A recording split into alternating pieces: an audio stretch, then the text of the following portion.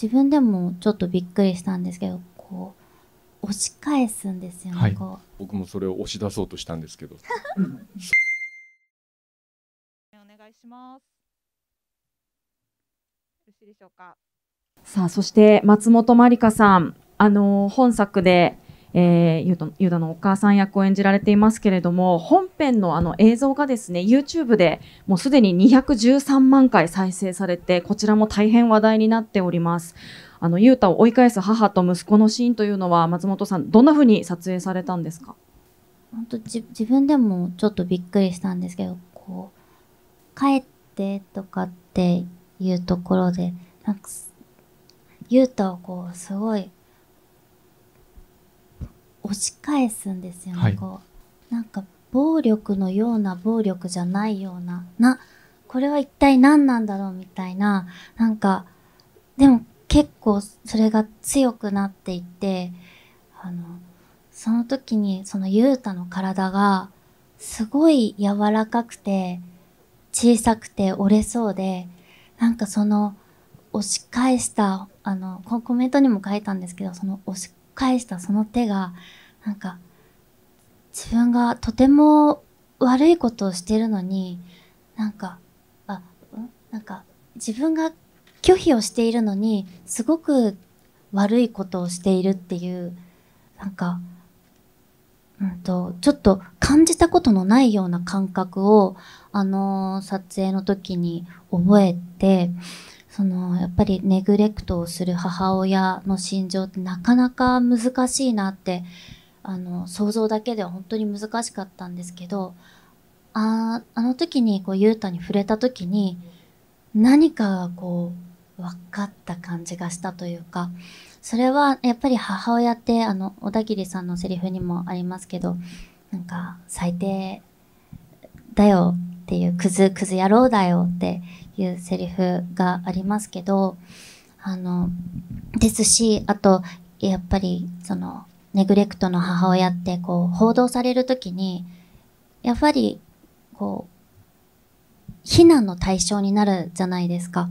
でじゃあなんでそのネグレクトをする母親だったり親が、あの、ずっと、こ、う増え続けてしまうのかっていうのは、やっぱりその母親の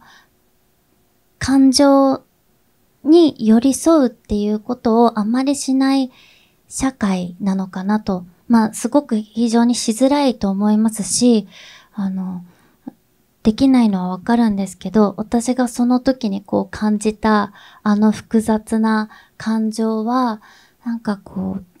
その母親だけをこう責めるっていうことは、なんか、なんかできない？なんか責めなきゃいけないんだけど、なんか、その母親のた、どうしてこの母親が生まれてしまったのかっていうその社会だったりその環境を考えることが、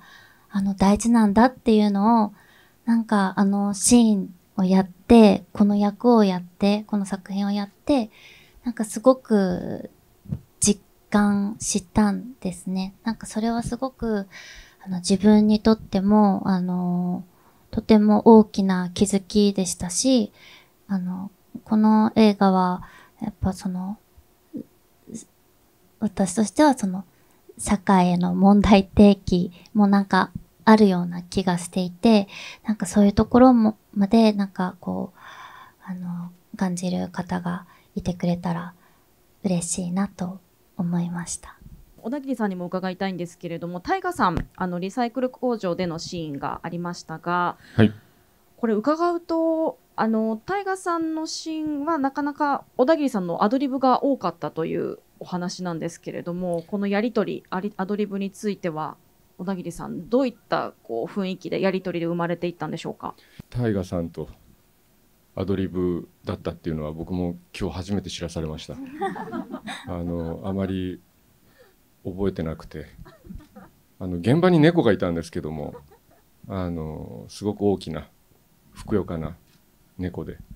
あの僕もそれを押し出そうとしたんですけどその柔らかな感触が、はい。その時に僕も少し理解できた気がしますね。そういう、そういうアドリブだったかなと思います。はい。